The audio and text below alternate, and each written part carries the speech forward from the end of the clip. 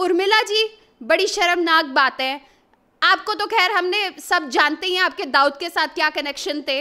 आप जब रंगीला मूवी में आई थी, जिस तरीके का आपका अपना अवतार था, जिस तरीके से आपको एक सेक्स अपील खुद बोला गया था, आपको शर्म आनी चाहिए। एक औरत को आप रुदाली बोल रही हैं, आप उससे एक प्रोस्टिट्यूट बोल रही है, रोने वाली। मतलब कि कंगना एक इतना अच्छा नाम है जो आज डरती नहीं है नेशनल इशू पर वो बोलती है हिंदुत्व पर वो बोलती है बॉलीवुड पर वो बोलती है फेमिनिज्म पर वो बोलती है। आप लोग तो सिलेक्टिव होकर बोलते हैं। आप लोग आते हैं हम जी इसके बारे में बोलेंगे। अगर गवर्नमेंट ने आपको किसी अच्छे न, अच्छे सिर्फ़ स्वच्छ अभियान के लिए बुलाया तो आप आएँगे। क्यों? आप सीए के टाइम कहाँ थी? एनआरसी के टाइम कहाँ थी? जेएनयू के टाइम कहाँ थी? कहाँ थी आप बाकी टाइम में? क्यों नहीं बोली तब आप?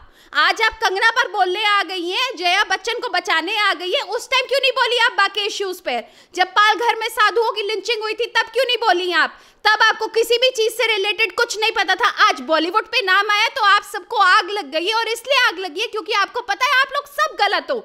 अंदर आप लोगों के खुद गंदगी चल रही है। अरे उसे साफ़ कीजिए और बॉलीवुड से ही शुरुआत होगी ये। नमस्कार, स्वागत है आपका हमारे चैनल प्यारा हिंदुस्तान पे। आप सभी जानते हैं कि बॉलीवुड में सफ़ाई को लेकर, यानी कि ड्रग्स की सफ़ाई को लेकर, चाहे वो एक आम नागरिक हो और या फिर बॉलीवुड में से कंगना रनावत, शेखर सुमन जैसे कलाकार हो, वो जो ये चाहते हैं कि बॉलीवुड में जिस तरीके से ये ड्रग्स पैडलिंग और ड्रग्स कंज्यूम करने वालों का नेक्सिस फैला हुआ है।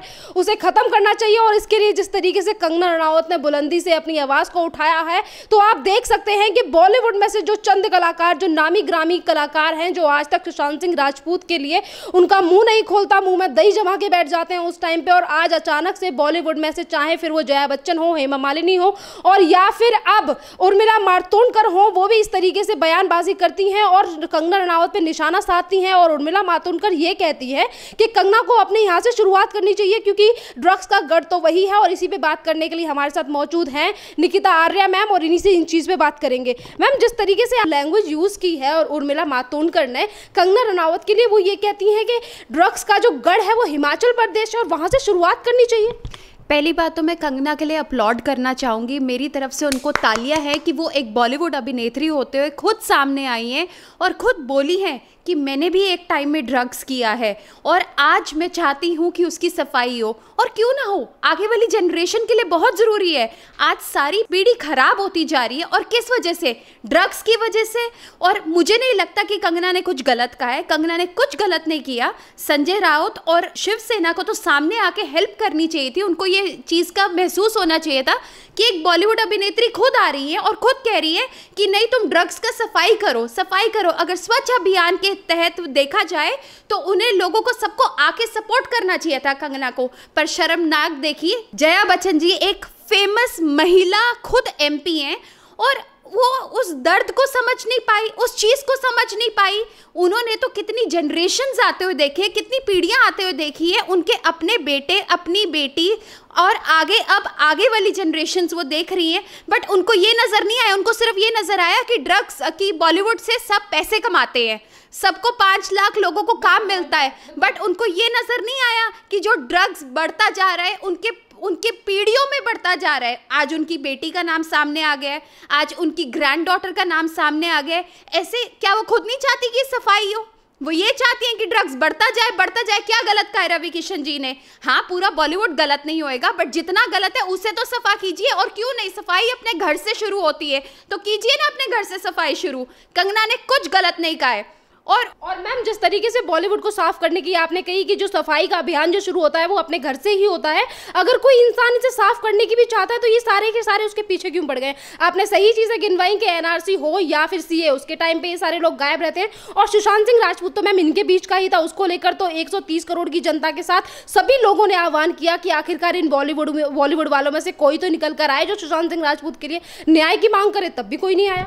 आप देखिए, अमिताभ बच्चन इस इंडस्ट्री के सबसे बड़े माने जाते हैं। जया बच्चन एक पायनियर मानी जाती हैं। उनके अपने बेटे जित की उम्र का था सुशांत, बट एक उनका आरआईपी स्टेटस नहीं था। एक दुख ज़ाहिर नहीं किया। दिशा सालियान, आपकी बेटी की उम्र की थी। सुनने में आया कि उसका रेप हुआ और जिस तरीके से उसकी मौत हुई है, आप सब जानते हैं कि सुशांत के साथ क्या हुआ है और दिशा के साथ क्या हुआ है। पर एक पल भर की भी इन लोगों में शर्म नहीं थी कि इन लोगों को फीलिंग या इमोशन आई हो कि उस बेचारे बच्चे, उनके बेटे जितने लड़के के साथ क्या हुआ है। नहीं बट ये बचाने आएँगी। किसको बचाने आएँगी? किसी को बचाने नहीं आएँगी। ये सलमान खान को बचाने आएँगी कि it is he has been given a harsh punishment आप उन्हें पनिशमेंट क्यों? जब वो डियर को मार देते हैं, आप उन्हें हार्श पनिशमेंट मत दीजिए। बट आप शिवसेना के अगेंस्ट नहीं बोल सकती एमपी होते हुए पार्लियामेंट में आप ड्रग्स के अगेंस्ट नहीं बोल सकती, आप गलत चीज़ों के अगेंस्ट नहीं बोल सकती।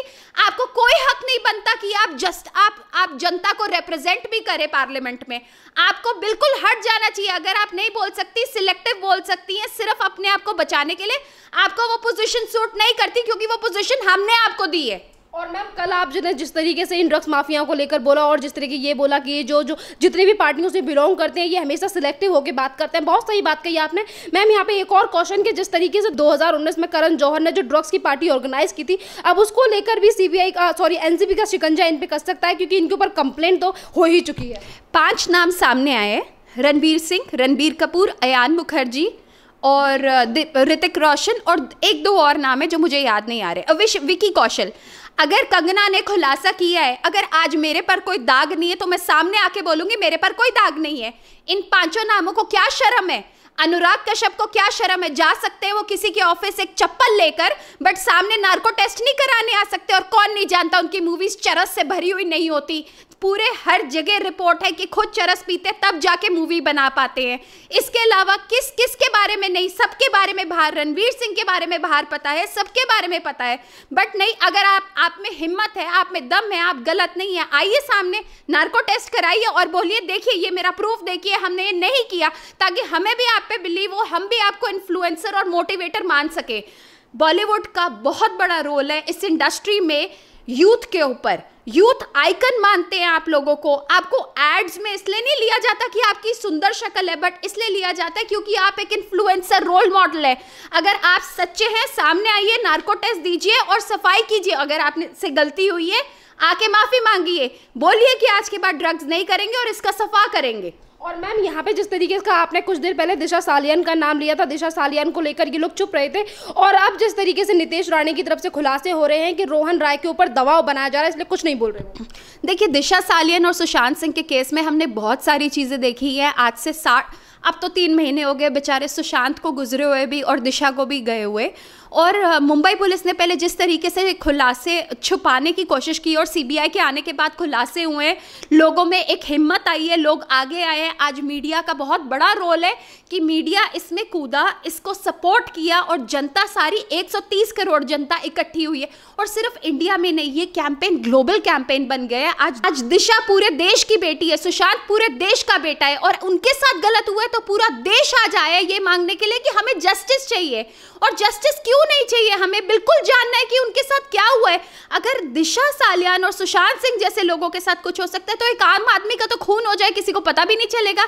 इसलिए आज एक आम आदमी जाग गया और वो जानना चाहता है, क्यों लोगों के साथ ऐसा हो रहा है? दिशा सालियान के केस में पहले दो दिन इन्होंने कोविड टेस्ट के लिए लगाए।